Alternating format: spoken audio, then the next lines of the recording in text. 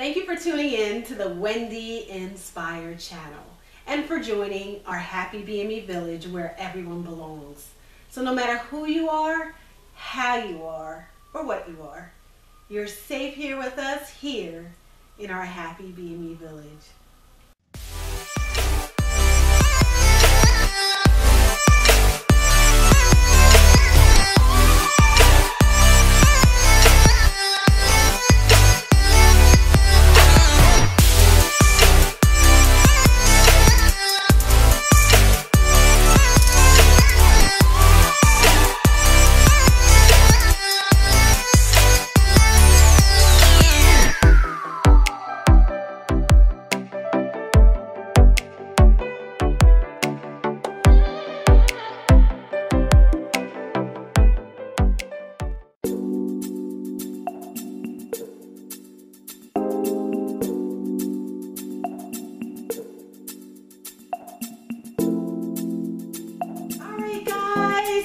Weekend to you. Thank you for tuning in. I wanted to give you an update on my modesty kick. So about mm, a little bit over a year ago, I started to adopt um, modesty.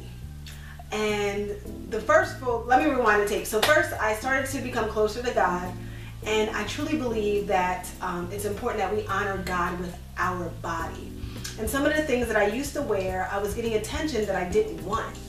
And I know that we are not responsible for what someone else chooses to think about us, if they choose to lust for us, if they choose to feel different emotions for us, it's not our responsibility. With that said, I feel like certain attire can provoke different emotions from other people. So because I really didn't like getting that attention, um, I didn't like walking past somebody and then they're going like this um, I didn't really feel good when um, man was with his wife or his girlfriend and then they would look back at me. It didn't make me feel good. So I said, what can I do about the situation? Yes, I can continue to wear exactly what I want to wear and say, you know what, that's on them. They shouldn't be doing it. Or I can say, you know what, is it really necessary for me to wear this? So as I got closer to God, I said, does what I'm wearing reflect who I am? Number one. Does what I'm wearing honor God with my body? Number two.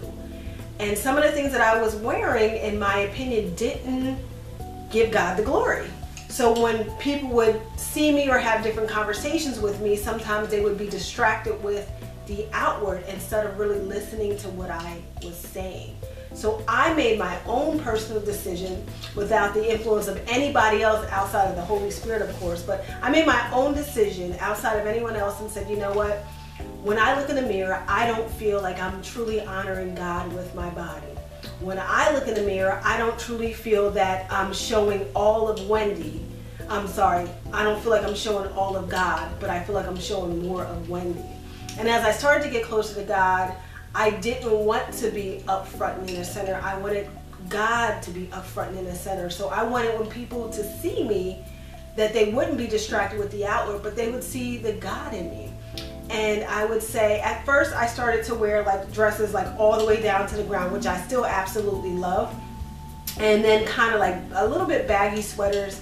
And then I started to kind of incorporate other styles, other colors, um, different textures and so far, so good. I have never, ever since I started to adopt um, a modesty apparel, I have never once wanted to go back. I've never said, you know what, I miss wearing this or I miss doing that. I said, you know what, I really like this. I really love to be a little bit more concealed. I love to be a little bit more conservative.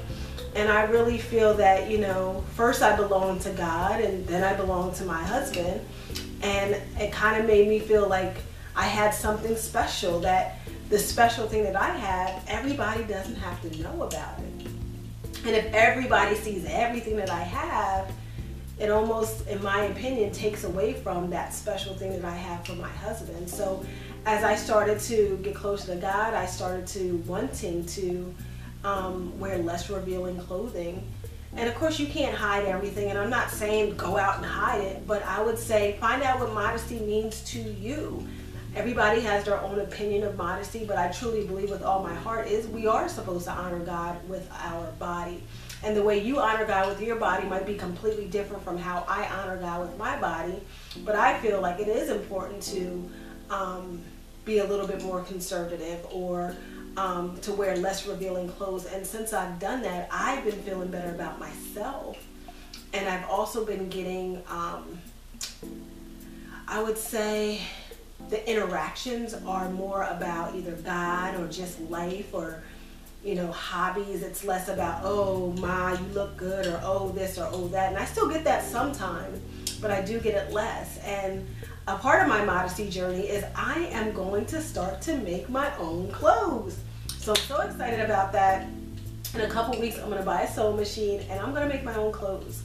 And I'm really excited about it because I feel like at this point in my life, I'm just doing what makes me happy.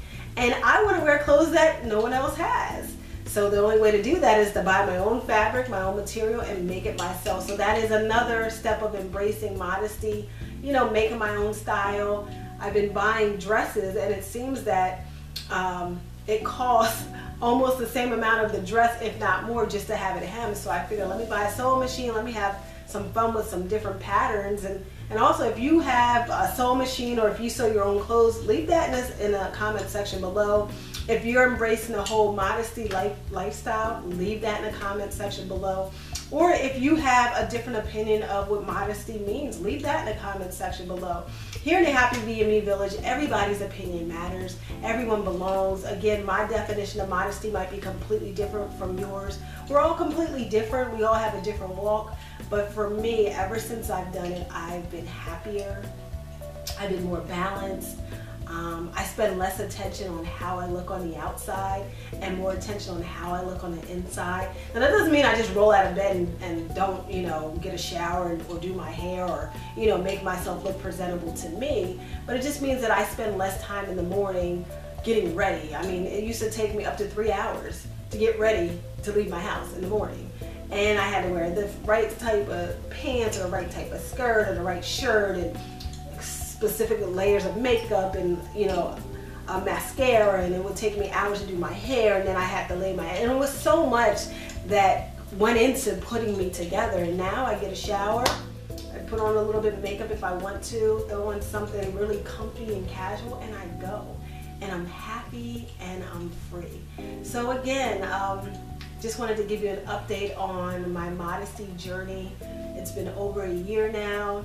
I have no desire to go back.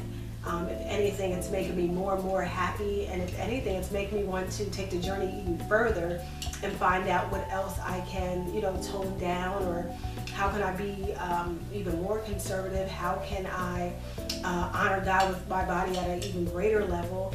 Uh, so far, so good. So just wanted to give you guys an update I'm gonna leave my first, second, or I have like maybe three modesty videos, so I'm gonna leave them in uh, this, the description field. You can check them out. Give me some feedback. Um, if you like this video, give it a thumbs up. And as you know, if you have not already done so, be sure to subscribe. To my subscribers out there, to my happy VME villagers, to my friends, to my family, thank you so much for sticking with me.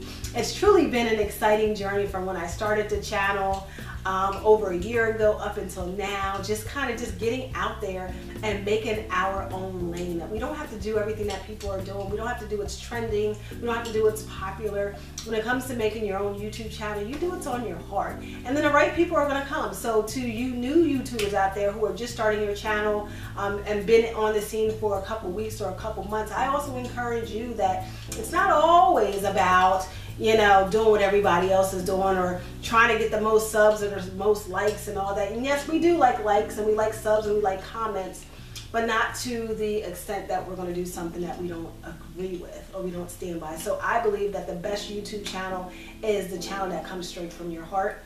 And again, thank you so much for tuning in to the Wendy Inspire channel and for joining our Happy VME Village where everyone belongs. Thank you.